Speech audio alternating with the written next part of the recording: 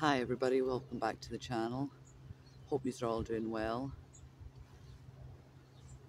Oh, I'm going to start off, I'm going to tell you a dramatic story. We've had quite the morning, me and Luna. But we went out for a walk this morning and uh, we were just about to leave the park and I turned around, the next thing Luna was nowhere to be seen. And I thought she was just a wee bit behind me, so I a wait because I've told you before in the channel, you know, that she panics if I get too far out of sight, you know. So I'm waiting for five minutes, no sign of her, and I thought that's strange. So I started to call her, started to whistle, nothing. And I thought, God, that's really weird. So I started to head back down, she's nowhere to be seen anywhere. And I thought, oh my God, what's happened? And then I knew, oh God, she's lost sight of me and she's panicked and she's ran. So I'm looking around, calling and calling, trying to find her. And I was a bit worried because she doesn't know this park very well, and I knew that she would get disorientated and she'd be panicking. And she might end up injuring herself trying to find me. So I'm just calling and calling and calling, trying to keep calm, trying to keep my thoughts, you know, in check that they don't run away with me.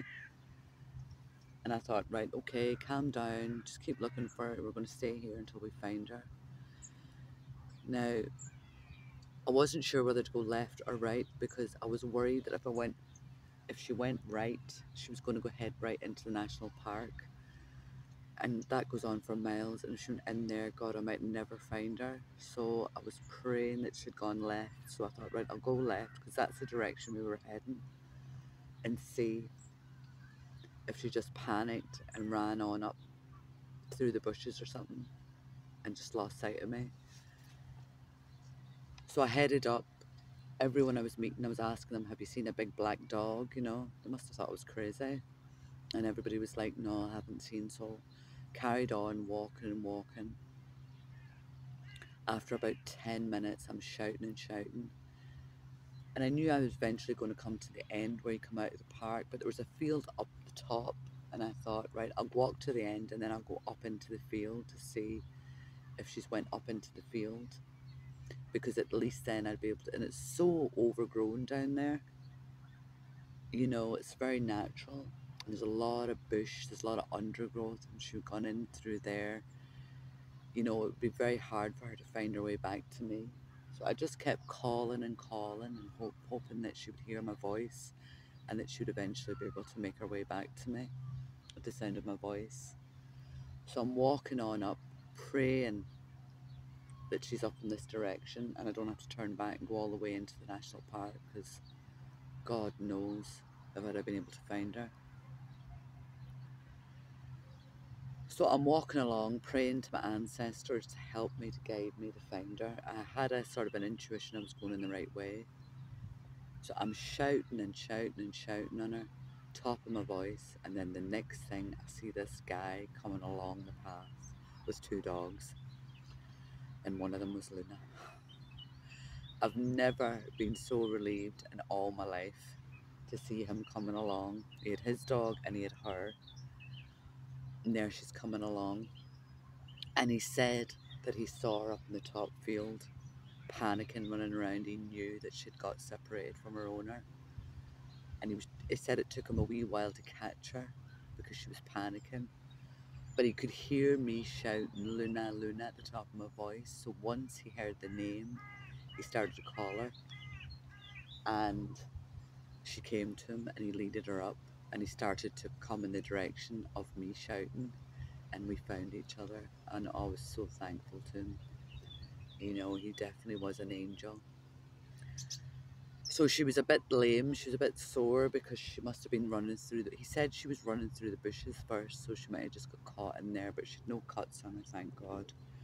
And uh, she wasn't the worst for wear, just the two of us had gotten a bit of a fright. And all ended well, thankfully, and uh, we got home. And you know, we didn't get home, I think we must have been out for about three hours between walking and then all the drama that unfolded. It just, just goes to show you your life can change in an instant. Turn around and all of a sudden things have completely changed. Excuse me. But we got home and she had a good sleep. She slept it off and she's still a little bit sore, but it's nothing serious. Just take a couple of days, she can walk it off. It's probably just a little sprain she's got on the ankle there, in her foot. And um, all ended well, thank God. So that's a bit of a dramatic uh, story for you that I, that me and her dealt with this morning. And it, the, the the subject I'm going to talk about now is came to mind because of that experience, and we'll tie it all in. You'll see at the end of it how it makes sense. But it brought a subject to me about dreams, bad dreams, which leading into nightmares, and I'm going to talk a wee bit about that now. So, if you um, are experiencing bad dreams or, or nightmares, it could be due to stress, but it also could be due to an unresolved issue from your past that maybe you thought you'd resolved but hadn't quite fully. Now, our body and our mind are very, very intelligent and they do a lot of things that we're not aware of. And they're always trying to keep us safe, always trying to protect us. And this is a way for your body and mind. It's a natural way. It's like an alert system that they send out if you are in unhealthy, stressful situations or you have unresolved issues from your past that maybe you haven't healed or haven't dealt with.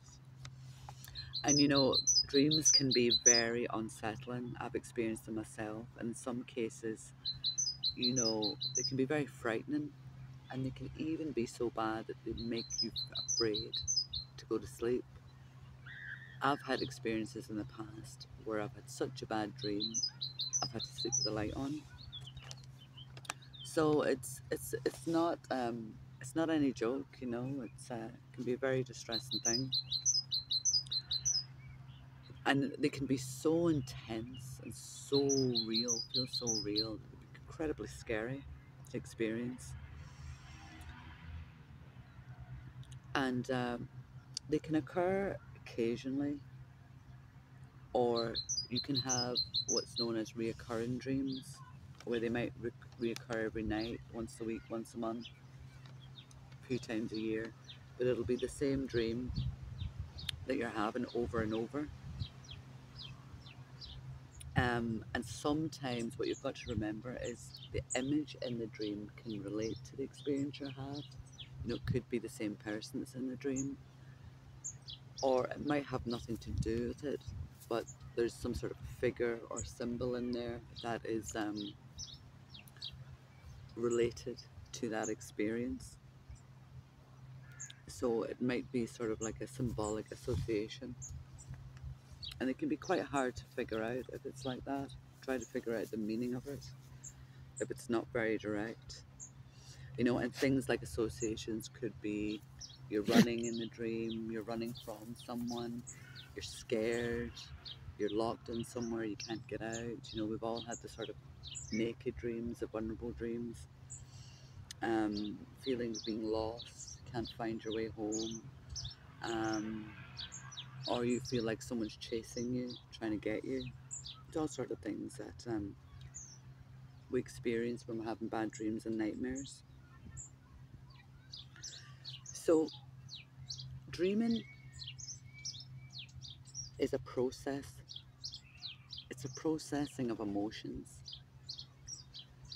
And um, if you're experiencing something stressful in your life, um, could be to do with anything, a person, or it could have been something stressful that happened to you in your past, and you thought maybe you'd resolved it, but maybe you've still got a fear surrounding or associated with it.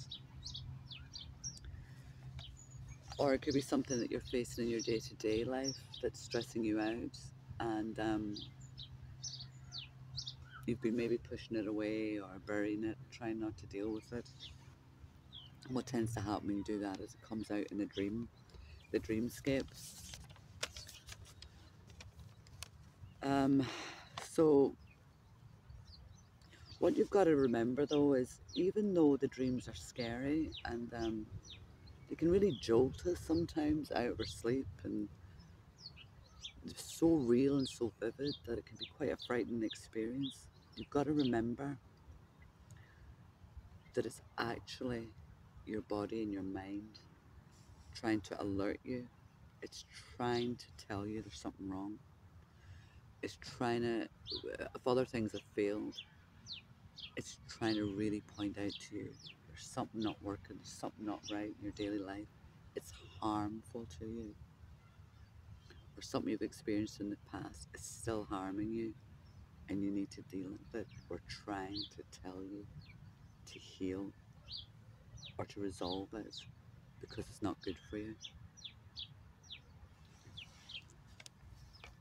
So what you need to start doing is what you can do is you can start a dream journal and you can start logging down the dream.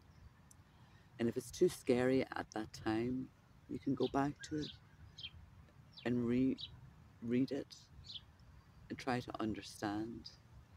Walk yourself through the dream and what's happening in the dream.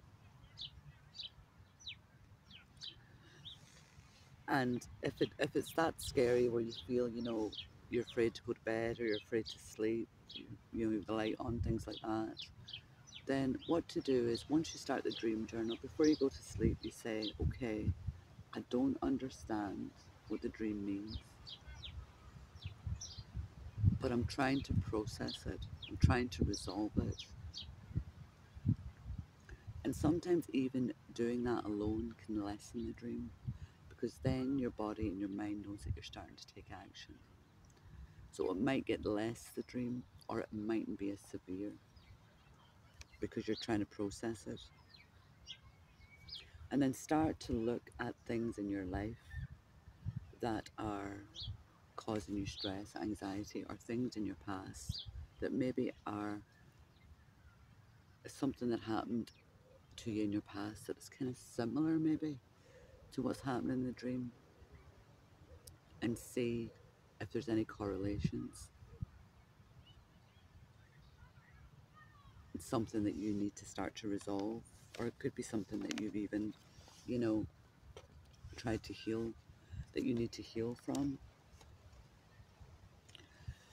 And then when you go to bed at night, if you say, say to yourself before you go to sleep, I'm trying to fix it, I'm trying to resolve it, I'm trying to work it out. And then your mind will start to try and help you to figure it out. Um, but a great way of doing that is journaling. Journal the dream, draw the dream, paint the dream, whatever you want to do. And try to really sort of look at it. And when you go into bed, try and stay calm. And try to say to yourself, okay, I'm trying to work through it. I'm trying to process the emotion. And even that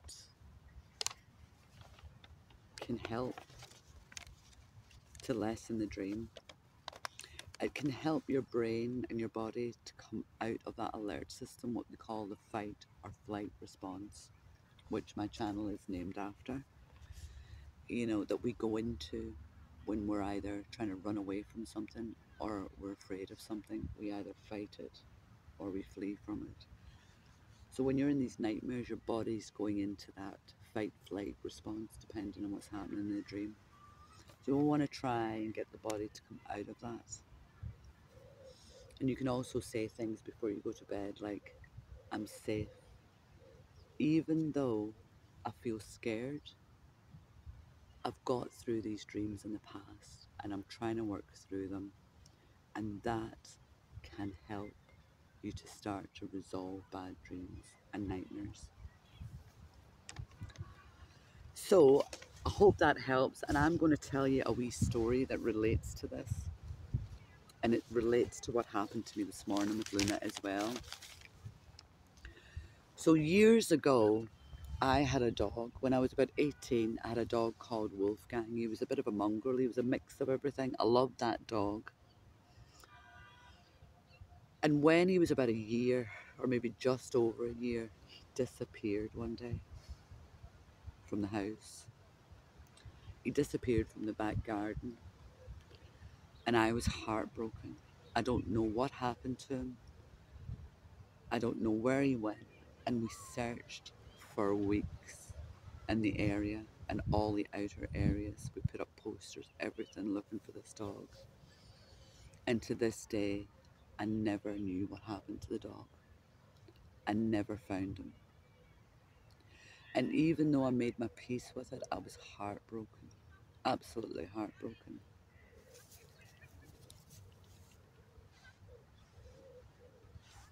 Come here, baby.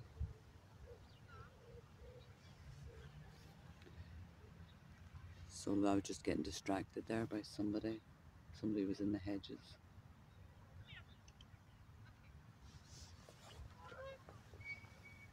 I just don't want Luna interacting when she's got that sore paw.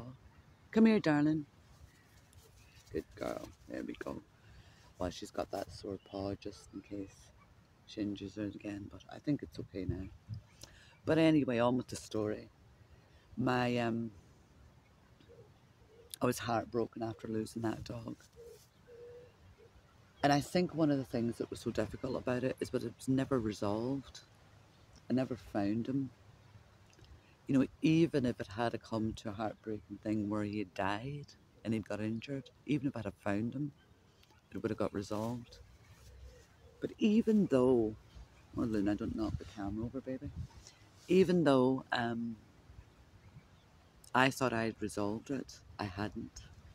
Because after I got Luna, about a year after I got her, which was around the same time that he disappeared, I started having this bad dream, this recurring nightmare. Now, Luna was in the dream, so it was very symbolically referenced to her. I knew it was about her. I started having this bad dream that I was running through a town and I could see Luna up ahead of me and I was calling her and calling her and calling her.